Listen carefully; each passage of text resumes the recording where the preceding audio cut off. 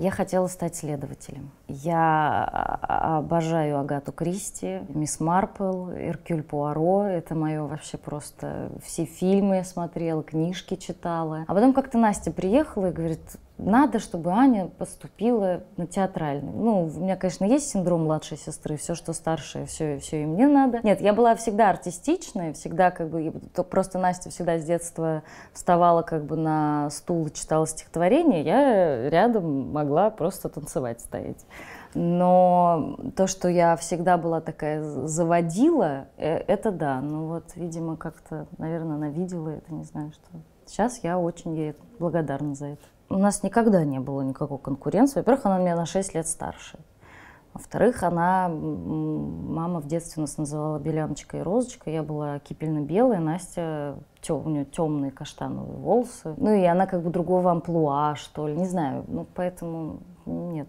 Очень тяжело принимал все это папа. Ну как бы две дочери вообще сразу же уехали, и как бы и бабушки, дедушки тоже не понимали, что, как, что, что там с нами происходит. Еще же всех сразу же какие-то мысли. Вот, ну, прорвались. Хороший вопрос. Зачем люди ходят в театр? Ну, во-первых, что-то новое увидеть, потому что, мне кажется, в театре каких-то сейчас решений больше, чем в том же кино, не знаю, мне так кажется. И что-то, безусловно, получить. Вообще это такой вызов всем вот в нынешнее время это такой вызов. Я не могу сказать, что я много снимаюсь, но я все равно снимаюсь. С кино пока у меня такой, мне кажется, что я, знаешь, как, э, не знаю, как помидор.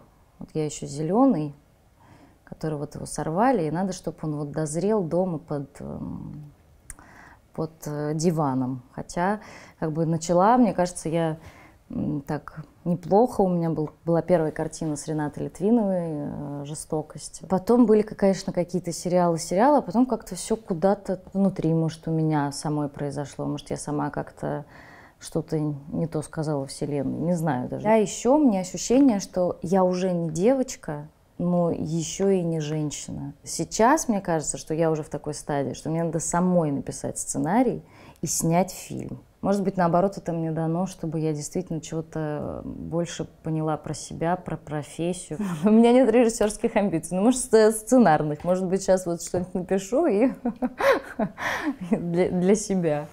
Что я поняла про, про любовь? Ты ничего. 18 ты, наверное, только сердцем думаешь и чувствуешь, и тебя так захлестывают эмоции, что ты не видишь ничего, кроме них. Сейчас ты больше понимаешь, что ты, ну, как ты хочешь, чтобы к тебе относились, относись так к людям. И любые отношения, конечно, это колоссальная работа. Бывает же так, что может хочется прийти и сказать, уйдите от меня, не хочу никого видеть, уйдите. Ну, ты не можешь, потому что здесь ребенок, здесь котенок, здесь еще надо как-то еще внимание уделить. Ты распределяешься, ты о себе не так думаешь. У тебя уже как бы все равно голова где-то там, и поэтому легче открываешься для чего-то нового. Вот, мне кажется, что Федька молодец, помог. Он так хотел в садик, он сам говорил, я так хочу в садик, я так хочу в садик, все время там, а когда я в садик пойду? Первый раз, когда я его отвела, у меня немножко так как же мой мальчик сейчас там без вообще, что же он, как же он вообще там будет? Артистичный просто, все, что он, я говорю, что было в садике? Мне Маша сказала, Мафа, мне Мафа сказала, что мы, я ее укусил.